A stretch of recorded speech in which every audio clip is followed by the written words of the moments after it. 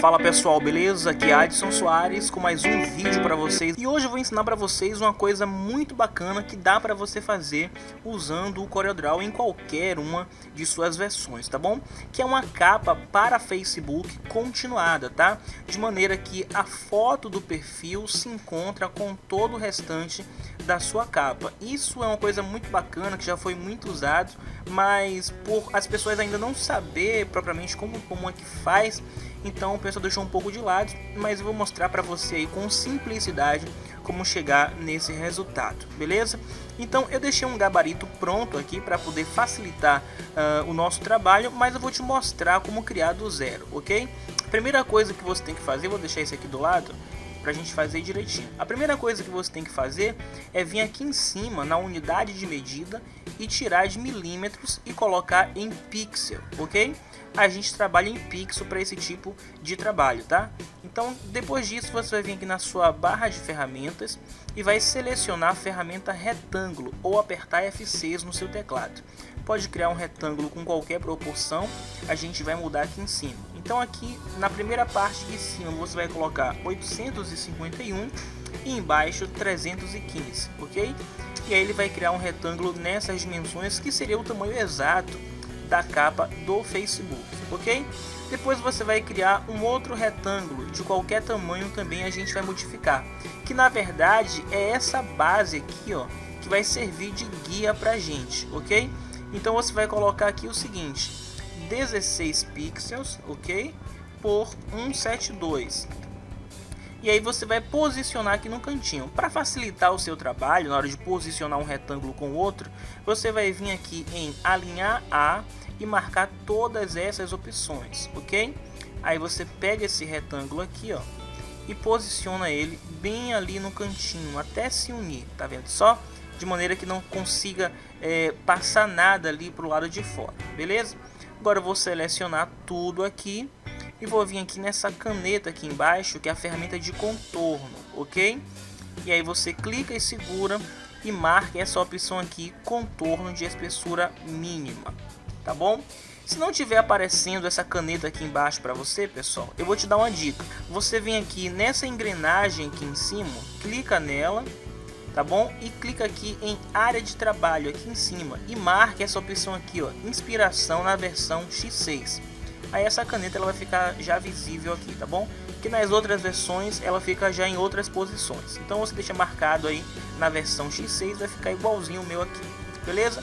Vamos lá para o segundo passo. A gente vai criar mais um retângulo e vai dar o tamanho aqui em cima de 168 por 168, ok?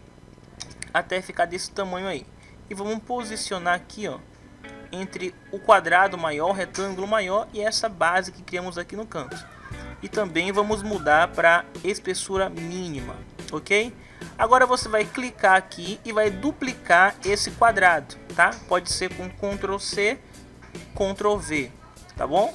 Já duplicou. Deixa ele selecionado aí e vem aqui em cima de novo e muda para 160 por 160 e dá um enter, tá? Então aí você já pode ver que criou uma margenzinha, beleza? E aí você tem já o gabarito aqui pronto, beleza? Vou apagar esse outro aqui, ó, pra gente ficar só com esse que acabamos de criar. Pronto, o que é que a gente vai ter que fazer agora? Escolher qual imagem nós vamos usar né, para fazer esse tipo de efeito. Então vou minimizar tudo aqui, vou pegar uma imagem dos Simpsons que eu já havia baixado na internet, pode ser a sua imagem, pode ser o que você quiser, beleza? Eu vou fazer o seguinte, eu vou apertar no meu teclado Ctrl Page Down ou simplesmente eu clico com direito em cima dessa imagem e venho até essa opção aqui, ordenar e colocar aqui ó, atrás, ok? Clico aqui, ela vai mostrar uma setinha para você, como vocês estão vendo aqui, e eu vou clicar nesse retângulo aqui, ó, e ele foi para trás de todo o objeto, como vocês estão vendo. Beleza? Eu vou apertar a letra P para mandar lá para o centro, tá bom? E vou aumentar essa imagem de maneira que ela ocupe toda essa área de trabalho que nós criamos, tá bom? Vamos controlar aqui agora para não cortar nada, certo? Deixar mais ou menos aqui. Pronto, posicionou aqui no lugar certinho, veja que vai ficar mais ou menos a o rosto aqui de Lisa, né? O que é que a gente tem que fazer agora? A gente vai duplicar essa imagem. Vou dar um clique nela aqui e vou apertar a letra, a tecla mais do meu teclado. Ou você pode também usar o Ctrl C, Ctrl V, tá bom? Duplicou, tem uma cópia em cima. Eu vou clicar com o direito em cima dessa imagem, como vocês estão vendo aí, tá? Deixa eu voltar aqui. Vou clicar com o direito em cima dessa imagem até aparecer essa opção aqui, Power Clip, tá bom? Se não aparecer para você essa opção, a depender da versão que você está usando, então você vai vir aqui em efeitos, tá bom? E vai vir aqui em Power Clip, colocar dentro do recipiente, tá? Vai ser a mesma coisa. E aí você clica aqui, ó, nesse quadrado aqui de dentro que nós criamos. Clicou, ele colocou a imagem dentro desse quadrado, tá? E aí deixou uma cópia aqui pra gente. Essa cópia a gente vai clicar com direito também ou vir aqui no menu efeito, né, com a imagem selecionada, vem aqui no menu efeito, vem aqui em Power Clip, colocar dentro do recipiente. E agora a gente vai clicar dentro do retângulo maior que seria a nossa capa, beleza? E aí ficou desse jeito. O que, que a gente vai fazer agora? A gente vai arrastar essa capa aqui, ó, até separar ela de tudo que a gente criou e vai vir e usar o atalho Ctrl E, ok? Ctrl E. Aliás, antes disso, vamos remover esse contorno para poder dar certinho lá. Então, para remover o contorno, esse contorno que vocês estão vendo aí, você vai clicar com o botão direito do mouse nesse X aqui, ó, para remover. Tá vendo só? Remover o contorno. Agora sim a gente vai dar um Ctrl E, beleza? E vai exportar. Vamos deixar aqui mesmo com PNG e vamos marcar essa opção aqui, ó, somente selecionados tá? Para ele exportar somente a capa. Não esquece de marcar isso. E aí eu vou vir aqui em exportar, tá? Vou esperar ele abrir essa janela. Vou arrastar aqui a barra aqui para baixo. Perceba que ele aumentou um pixel na minha imagem e a gente não quer isso. Então eu vou diminuir aqui, tem que ser 851 por 316, tá bom? 315 na verdade, perdão. 851 por 315. E aí eu dou um OK. Pronto, já foi exportada. A mesma coisa, arrasto aqui para fora, beleza?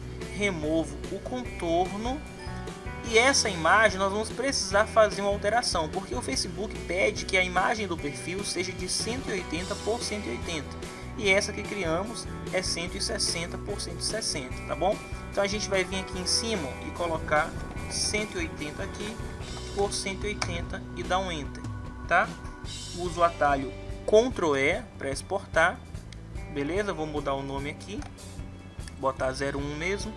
Né? Marca a opção PNG, né? Isso tanto na capa quanto na foto de perfil. Você vem aqui, seleciona PNG e aperta em exportar, tá bom? Arrasta aqui para baixo, perceba que ele mudou, né? Acrescentou também mais um pixel. A gente tira aqui e bota 180 por 180, tá bom? E aí dá um OK. Pronto né? Tá aqui a nossa capa e a nossa foto de perfil, tá? Deixa eu pegar aqui, é essa. E a nossa foto de perfil. E agora a gente vai lá no Facebook trocar para ver se deu certo, tá? Vou pegar esse perfil aqui. Vou vir aqui adicionar foto de capa, tá? Vou dar um OK, carregar foto. Pronto, vou escolher aqui a foto de capa. Vocês vão perceber que ele não nos dá nem mesmo a opção de arrastar, né? É, ele mostra aqui que a gente pode rachar tudo mais, mas a imagem não se move, justamente porque está no tamanho exato. Então a gente vai salvar, tá bom?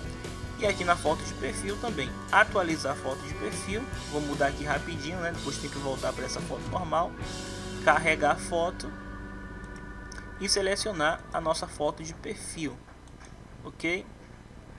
Vamos aguardar carregar aí né? Se o zoom tiver alto aqui, você deixa o zoom todo baixo aqui, tá pessoal? Abaixa bastante e dá um salvar.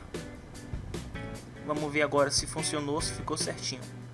Olha só que legal, bem interessante, né? Perceba que tá é, bem encontrado, né? Bem detalhado ali, não tem erro. E é uma coisa muito bacana, né? Que acaba chamando a atenção das pessoas que tá sempre olhando o seu perfil aí. Bom, então era isso por hoje. Espero que vocês tenham gostado. Se gostou, inscreve no meu canal também, tá na descrição do vídeo. E a gente se vê em uma próxima. Valeu?